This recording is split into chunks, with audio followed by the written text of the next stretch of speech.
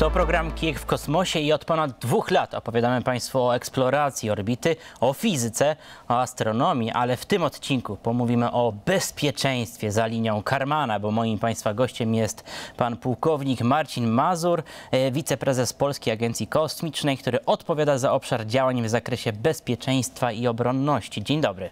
Dzień dobry panie redaktorze, dzień dobry państwu. Panie pułkowniku, na początek proszę powiedzieć, czym dokładnie pan się zajmuje? Wykorzystam ten moment i powiem, że e, dzisiaj reprezentuję rzeczywiście cywilną instytucję Polską Agencję Kosmiczną. Jest to e, instytucja, która, e, agencja, która podlega pod e, ministra właściwego do spraw gospodarki, czyli obecnie ministra rozwoju i technologii, e, która odpowiada za, e, za rozwój sektora kosmicznego w Polsce, za inicjowanie projektów, badań, programów badawczo-rozwojowych, aby rozwijać e, zdolności, usługi, rozwijać po prostu sektor e, e, w Polsce. Ja jako wiceprezes i jednocześnie żołnierz zawodowy odpowiadam za, za te usługi, zdolności, za, te, za obszar związany z obronnością i bezpieczeństwem, czyli tych, ten dział, który, który zaspokaja zarówno potrzeby użytkownika cywilnego, jak jak i wojskowego, czyli które często e, usługi mają charakter e, dual use. Na pewno za chwilę sobie y, poszerzymy te informacje, czym dokładnie jeszcze Pan się zajmuje, jak Polska Agencja Kosmiczna chroni nas, ale mm, chciałbym zacząć od doniesień, jakie otrzymaliśmy, jakie płyną z oceanu, e, a wynika z nich, że Rosjanie planują umieścić broń nuklearną na orbicie. Czy jest się czego obawiać? Rzeczywiście parę dni temu e, e, rzecznik e, Rady Bezpieczeństwa Narodowego Stanów Zjednoczonych, John Kirby, przedstawił taką informację, że, że Rosjanie umieścili broń atomową na niskiej orbicie zie- okołoziemskiej. Jednocześnie dodał, że nie ma co, o, e, nie wpływa to, nie ma to wpływu na bezpieczeństwo obywateli społeczeństwa. Jakby spojrzeć tak naprawdę, e, czy, e, czy posiadanie, a użycie broni jest tożsame, to myślę, że wszyscy zgodzimy się z stwierdzeniem, że to są dwie różne, dwa różne aspekty. Choć e, patrząc hi- historycznie, dzisiaj bardzo dużo jesteśmy w stanie znaleźć w internecie informacji o, o jedynym takim teście przeprowadzonym w latach 60. przez stronę amerykańską, bo, bo w roku sześćdzie- 1962 E, naukowcy e, amerykańscy wraz, e, wraz e, z przedstawicielami Departamentu Obrony e, przeprowadzili jak dotąd jedyny test użycia broni e, termojądrowej w, przestrzeni kosmicznej. To było na wysokości około 400 km, e, czyli e, niskich orbit okołoziemskich e, nad Pacyfikiem, aby, aby nie miało to wpływu na, e, na społeczeństwo, na, na, e, na tereny zurbanizowane. E, Jednak ten test pokazał, że, e, że e, nie jest możliwe takie łatwe e, oszacowanie skutków e, wykonując test broni jądrowej przestrzeni kosmicznej, gdyż po pierwsze miał on wpływ na, na, na satelity, które były na, na tej niskiej orbicie okołoziemskiej. W tamtym czasie, w 1962 roku, było ich zaledwie 24 i 8 z nich zostało e, automatycznie zniszczonych, ale też, e, ale też e, na oddalone wyspy i społeczeństwo Hawajów, które oddalone było o półtora tysiąc, ponad półtora tysiąca kilometrów. Zniszczony został e, sieć energetyczna, zostały zniszczone urządzenia, które były podpięte do tej sieci energetycznej. To jest trochę takie potwierdzenie, już zamykając to pytanie, że e, wiele skutków nie da się ocenić. Porównując do, czasów dzisiejszych, gdzie na niskich orbitach okołoziemskich mamy ponad 5 tysięcy satelitów e, e, czynnych, dostarczających informacje, produkty, dane do odbiorców najróżniejszych państw, zarówno tych, które są sojusznikami strony rosyjskiej, jak i potencjalnymi przeciwnikami, to ciężko e, ocenić, e, jakie byłyby skutki i na, na czyją stronę byłyby bardziej negatywne. Ciekawi mnie, bo mm, na filmach, gdy widzimy eksplozję, pocisku nuklearnego to jest ten ogromny grzyb, ale w kosmosie to tak nie wygląda. No, e, z informacji, które dzisiaj można przeczytać, impuls elektromagnetyczny był, był ogromny. Tego przede wszystkim nie doszacowano. E, Po drugie, e, był bardzo duży błysk jednak e, wywołany tym testem i jednak to przerosło wyobrażenia naukowców. To po co Rosja teraz chce umieszczać broń atomową w kosmosie? Jak pan na to patrzy jako no, zawodowy żołnierz, który zajmuje się obronnością naszego kraju w kosmosie? Ja myślę, że są mm, tak naprawdę dwa aspekty. Po pierwsze, e, no dzisiaj Rosja prowadzi pełnoskalową e, e, wojnę w Ukrainie już, już prawie od dwóch lat. Wydaje ogromne pieniądze na prowadzenie tej walki. Natomiast umieszczenie broni e, e, w przestrzeni kosmicznej jest tylko potwierdzeniem, że nadal e, program kosmiczny jest dla niej ważny, że wydatkuje na ten program kosmiczny środki i, i, i pokazuje swoje, swój potencjał. To jest jedna rzecz. A druga, myślę, że właśnie taka bardziej wojskowa, czyli, czyli patrząc pod kątem strategicznym tej teorii strategii wojskowej, od kiedy wynaleziono broń atomową, e, miała ona funkcję e, odstraszania, miała funkcję e, potencjalnej groźby, aby zniechęcić przeciwnika do, do potencjalnego ataku i, i na pewno w okresie zimnej wojny ona pełniła taką rolę. Mhm. Umieszczenie takiego pocisku, według niektórych ekspertów, to jest tak naprawdę strzelenie sobie w stopę, ponieważ użycie tej broni w kosmosie przeciwko e, wrogiemu satelicie e, może zagrozić, e, no gdyby to zrobiła Rosja, także potencjałowi rosyjskiemu, kosmicznemu. Rzeczywiście tak jest. E, Użycie broni, e, choćby takiej e, e, albo innych e, rodzajów broni antysatelitarnych e, wykorzystujących e, rakiety, broń kinetyczną do, do zniszczenia fizycznego, do użycia rakiety przeciwko satelicie powoduje nie, niekontrolowany sposób rozbicia e, e, na, na cząstki, odpady, e, a mówiąc zgodnie z naszą nomenklaturą i prawodawstwem na śmieci kosmiczne, które, które będą się poruszać w przestrzeni w sposób niekontrolowany i niemożliwy do przewidzenia. Takich przypadków mamy w swojej historii już całkiem sporo. E, Ostatni wydarzył się e, ponad dwa lata temu, to był, to był listopad e, 2021 roku.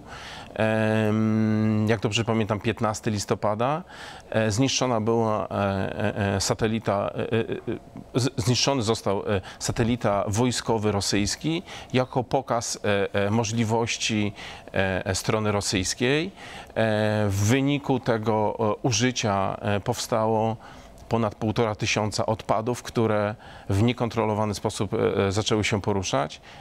I co ważne, po, po tych ponad dwóch latach od użycia tej broni jeszcze około 300 cząstek e, tej, e, tego satelity nadal porusza się e, w przestrzeni kosmicznej. Wtedy także e, zagrożeni zostali astronauci mieszkający na Międzynarodowej Stacji Kosmicznej. Była nawet e, początkowo procedura o mm, próba podejmowana ewakuacji ich, e, nakazano im pójść do specjalnych kapsuł ratunkowych. E, Wiele razy w tym programie przewijało się właśnie informacja o tym, że te śmieci kosmiczne mm, mogą doprowadzić do powstania takiego zwanego syndromu Kesslera. Czy to grozi nam obecnie, że ta, ta orbita zostanie zablokowana? Rzeczywiście ten syndrom Kesslera to takie perpetuum mobile, e, teoretycznie możliwe do, do, do, e, do zaistnienia, do pojawienia się w wyniku jakby e, e, powstawania pierwszych śmieci, które, które będą generowały kolejne, tak? E, e, i, I rzeczywiście o tym głośno się mówi, ponieważ e, e, tych śmieci kosmicznych na, e, na, przede wszystkim na niskich orbitach jest bardzo dużo. Ocenia się dzisiaj, że strakowanych e, e, e, jest ponad 30 tysięcy odpadów, które mają wielkość powyżej 10 centymetrów. Natomiast tych mniejszych szacuje się, że około miliona na niskich orbitach, gdzie, tak jak już wspomniałem, samych satelitów mamy w, porównaniu do tych liczb jedynie 5 tysięcy. Wydaje się, wydaje się, że, że tak jak i sama nazwa mówi, że śmieci są małe, natomiast ponieważ te, e, te cząstki, te odpady poruszają się z ogromną prędkością na orbicie, bo to jest e, prędkość około 27 tysięcy kilometrów na godzinę, powoduje e, potencjalne bardzo duże zagrożenie dla, e, dla satelitów, uszkodzenia ich fizycznego, przez co one staną się kolejnymi rzeczywiście śmieciami, jak i tak jak pan redaktor wspomniał, dla stacji kosmicznych, czy to międzynarodowej, e, czy, czy chińskiej Tiangong, która również jest e, e, na orbicie. Przy okazji informacji o mm, próbie czy też planach Rosji umieszczenia e, broni atomowej w kosmosie, wiele mediów wybijało informacje o wojnie na orbicie. Czy gdy myślimy o wojnie, to widzimy żołnierzy e, z karabinami, e, strzelanie, rakiety. Taki scenariusz w ogóle nie wchodzi w grę, jeżeli chodzi o orbitę. Rzeczywiście e, w jednej z, z, z, mm, z platform streamingowych pojawił się serial, krótki serial Space Force i rzeczywiście tam mieliśmy pokaz e, e, przerysowany, jak mogłaby wojna w kosmosie wyglądać. Natomiast w rzeczywistości e, można powiedzieć, że e, jeśli nazwa, nazwiemy rywalizacją między państwami, to ona dzisiaj rzeczywiście istnieje, bo, bo, e, bo państwa chcą umieszczać coraz więcej swoich e, e, satelitów na, na orbicie, aby zwiększyć e, e, czas rewizyty, czyli częstotliwości e, tak zwanego przejścia satelity, satelitów nad, nad obszarem naszego zainteresowania, zwiększenia rozdzielczości, zmniejszenia, zmniejszenia upływu czasu od, od nadania do, do przekazania informacji, e, jeśli bierzemy pod uwagę e, e, satelity telekomunikacyjne. Więc ta rywalizacja między państwami jest, aby, aby szybciej dostarczyć informacje, aby szybciej odpowiedzieć na, na potrzeby przełożonych polityków, dowódców, ci, którzy poszukują odpowiedzi. Natomiast ponieważ jesteśmy uzależnieni od, od, od zasobów, od, e, e, e, od kosmosu na co dzień, no to w reakcji, w konsekwencji tego powstaje oczywiście broń antysatelitarna. Są różne kategorie, natomiast rzeczywiście ona jest takim potwierdzeniem, że ta wojna w kosmosie fizycznie e, e, może, e, może wystąpić, oczywiście w zupełnie innej formie niż to pokazano w tymże serialu. Mówi Pan o wojnie w kosmosie przy pomocy rakiet antysatelitarnych, wspominaliśmy o broni atomowej. Czy są jakieś inne sposoby, aby zwalczać wrogie satelity? Są jakieś takie pomysły, które są tworzone właśnie nie wiem, przez, przez Stany Zjednoczone, Chiny czy Rosję? Znaczy, y, ja tylko powiem, że rzeczywiście jest takich pięć głównych kategorii. E, O jednej mówimy, czyli o tych systemach e, e, rakietowych. Do, do niszczenia satelitów można użyć też z Ziemi dużych laserów o bardzo dużej mocy, aby zniszczyć elektronikę, sensor, ekrany. Więc to też jest metoda. Em, Niektóre kraje rozwijają swoje zdolności do wykonywania tak zwanych operacji orbitalnych, czyli użycia e, platform e, satelitarnych czy wahadłowców do, do e, podsłuchiwania czy, czy, czy uszkodzenia satelitów na orbicie za pomocą ramion robotycznych, za pomocą laserów czy, czy, czy sprayów chemicznych. Natomiast niestety jednym z, z tych, z tych mm, Jednym z tych e, broni, które dzisiaj e, uważane jest za, za e, najbardziej niebezpieczne, to są zagrożenia cybernetyczne. W zeszłym roku w Stanach Zjednoczonych przeprowadzono ankietę wśród dwóch grup. Jedno to, byli, to, był, to był biznes, czyli dostawcy rozwiązań satelitarnych dla różnych odbiorców, czyli tak, czyli tak naprawdę producenci tych systemów. E, I, i drugi to, był, to byli odbiorcy, czyli administracja, włączając to e, Departament Obrony. I co ciekawe, jedna i druga grupa wskazała, e, jako naj, najtrudniejsze i, i em, najbardziej niebezpieczną broń to właśnie e, przy użyciu wykorzystanie broni e, e, cybernetycznej, czyli e, przejęcie bądź to sygnału, e, e, e, sygnału e, dowodzenia, tak, e, command and control, tej pomiędzy segmentem naziemnym, infrastrukturą naziemną, a, a, a tym segmentem satelitarnym, czyli satelitą, bądź atak na infrastrukturę. Mówiliśmy o broni nuklearnej, którą Rosja planuje umieścić na orbicie. To panie pułkowniku, czy jest się czego obawiać? Jeszcze raz zapytam, czy, czy nasi widzowie muszą się y, bać tych doniesień, czy jednak mogą spać spokojnie?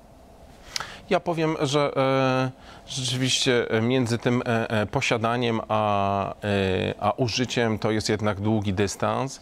E, on e, powoduje, że e, rzeczywiście jest to potencjalne zagrożenie, natomiast to nie jest zagrożenie e, mm, występujące e, e, dla, dla, dla całej społeczności. E, mm, Myślę, że w dzisiejszych czasach e, e, e, ciężko być e, państwem, które e, sprowokuje i pierwsze użyje broń, e, broń atomową, bo, bo będzie ona miała konsekwencje dla całej ludzkości. Jak ważne są satelity dla wojska, ale także dla, dla nas, zwykłych obywateli? W praktyce dzisiaj jesteśmy, ja używam takiego stwierdzenia, uzależnieni od, od, od, od kosmosu, od przestrzeni kosmicznej, od danych, produktów i serwisów dostarczanych e, e, z, z zasobów e, kosmicznych. Wojsko, wojsko potrzebuje zarówno geolokalizacji, punktów przemieszczania e, pozycji swoich środków, pozycji nieprzyjaciela. Potrzebuje to w systemach dowodzenia e, zarówno e, swoich platform powietrznych, e, okrętów e, e, morskich czy, czy, e, czy pojazdów lądowych, zarówno tych załogowych, jak i bezzałogowych e, potrzebuje e, mm, informacji e, e, przekazywanej dzięki łączności satelitarnej, potrzebuje potwierdzenia w danych obrazowych o istnieniu zagrożeń, o istnieniu potencjalnych celi, więc One, te, e, te zasoby są wykorzystywane na co dzień, ale również właśnie w tym świecie cywilnym, czyli tego e, potencjalnego e, użytkownika Kowalskiego, który codziennie e, wsiadając do samochodu w mniejszym bądź większym mieście i kierując się do pracy, włącza telefon i używa nawigacji, e, e, szukając najszybszej drogi do, do, do pracy czy, czy, czy z powrotem do domu. Sprawdzając prognozę pogody, e, e, czyli e, informacji pochodzącej z satelitów meteorologicznych, wykonując e, przelewy międzynarodowe czy oglądając telewizję satelitarną. Jesteśmy, e, jesteśmy e, uzależnieni od zasobów.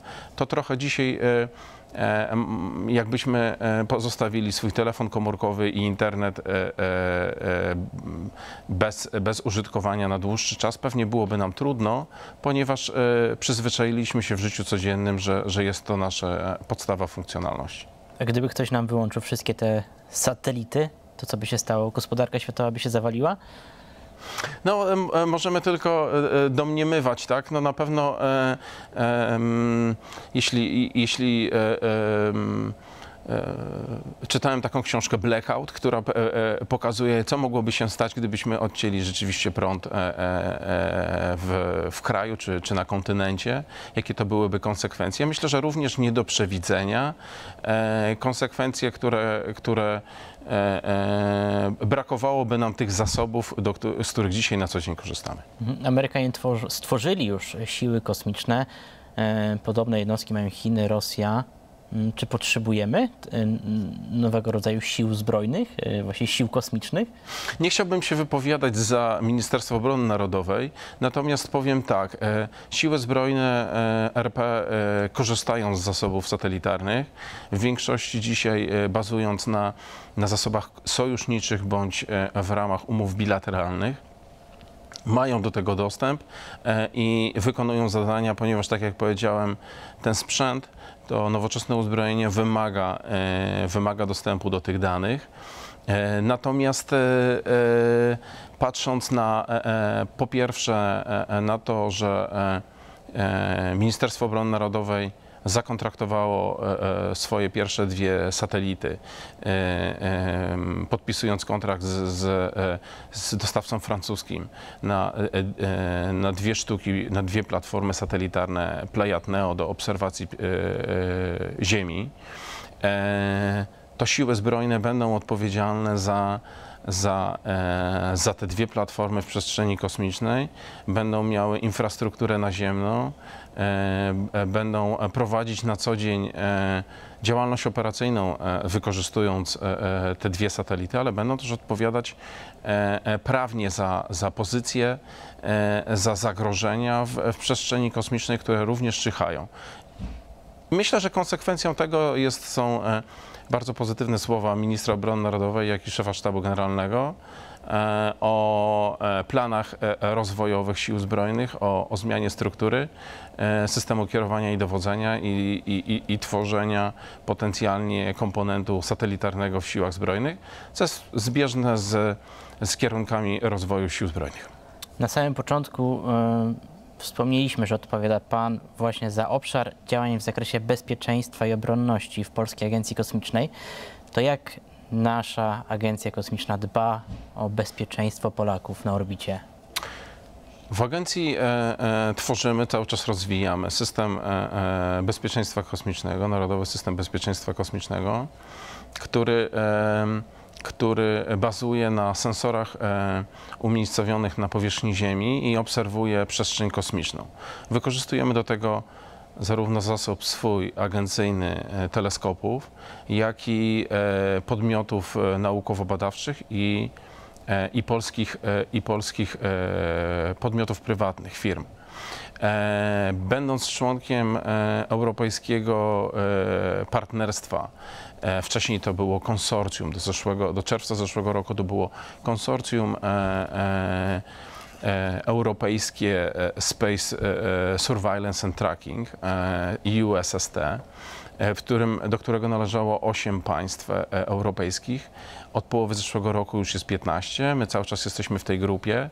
Dostarczamy e, e, dane e, o, obiektach e, w przestrzeni kosmicznej z tych, e, z tych sensorów. Jest ich w sumie 17. E, Mamy najwięcej sensorów e, e, z tych e, członków e, e, e, partnerstwa e, i e, budujemy swój potencjał, e, dzięki czemu e, em, platformy satelitarne europejskie bezpiecznie poruszają się po przestrzeni kosmicznej e, i unikają e, potencjalnych e, choćby kolizji, zdarzeń z innymi obiektami. Czyli nie dbamy jedynie o bezpieczeństwo Polski, ale także Europy. Dokładnie tak. Myślę, że w, w, e, w grupie zawsze e, e, lepiej się pracuje. Myślę, że w ogóle praca zespołowa daje lepsze efekty. Wymieniamy się doświadczeniem. Pełnimy e, e, w, tej, e, w tym zespole 15 państw swoje, swoją rolę. Natomiast, tak jak powiedziałem, jesteśmy dużym, dużym graczem ze względu na największą ilość sensorów rozlokowanych na wszystkich kontynentach globu. A Czy Polska Agencja Kosmiczna będzie brała udział w budowie polskich sił kosmicznych, o których rok temu mówił prezydent Andrzej Duda? E, tak jak zaznaczyłem na samym początku, em, agencja jest instytucją cywilną, choć na swoim pokładzie że ma e, w tym momencie dwóch żołnierzy zawodowych.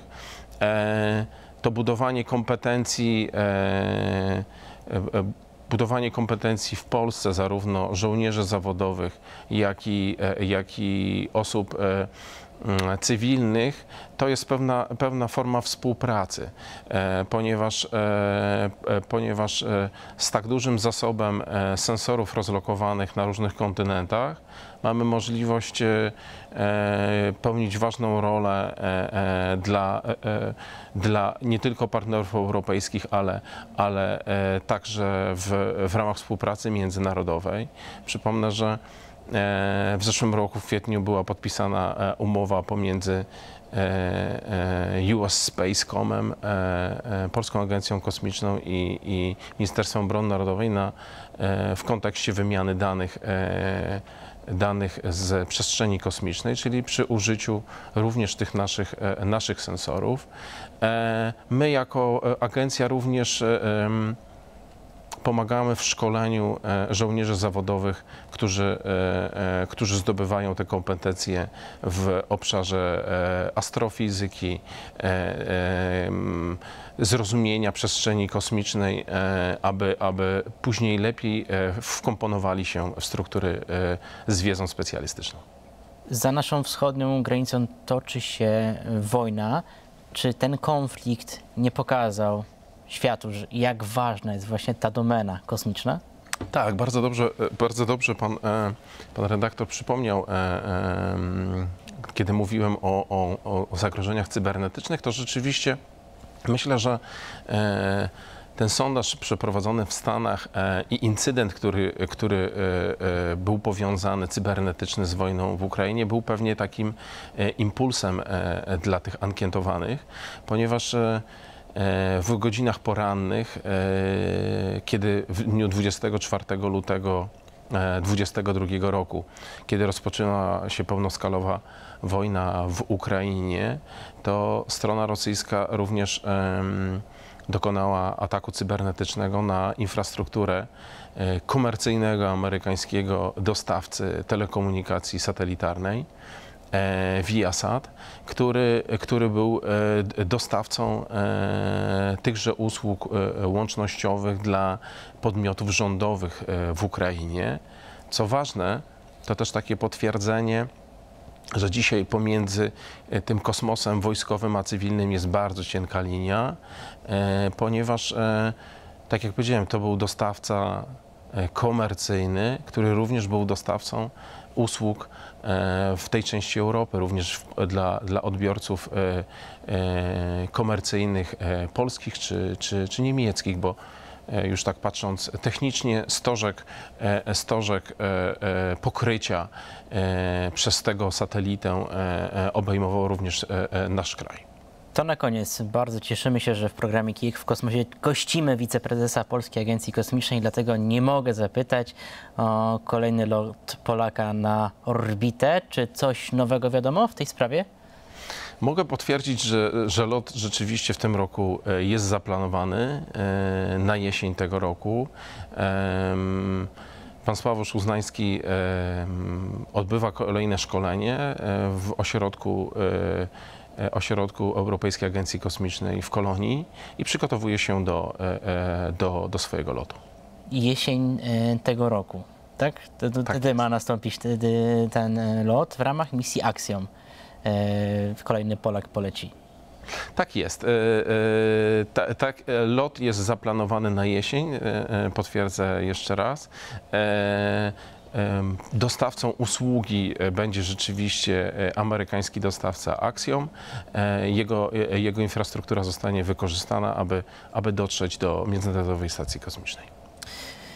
To była wielka polityka, ale także trochę nauki w programie Kijek w Kosmosie, bo moim Państwa gościem był pan pułkownik Marcin Mazur, wiceprezes Polskiej Agencji Kosmicznej, który odpowiada za obronę nas w kosmosie. Bardzo dziękuję za rozmowę.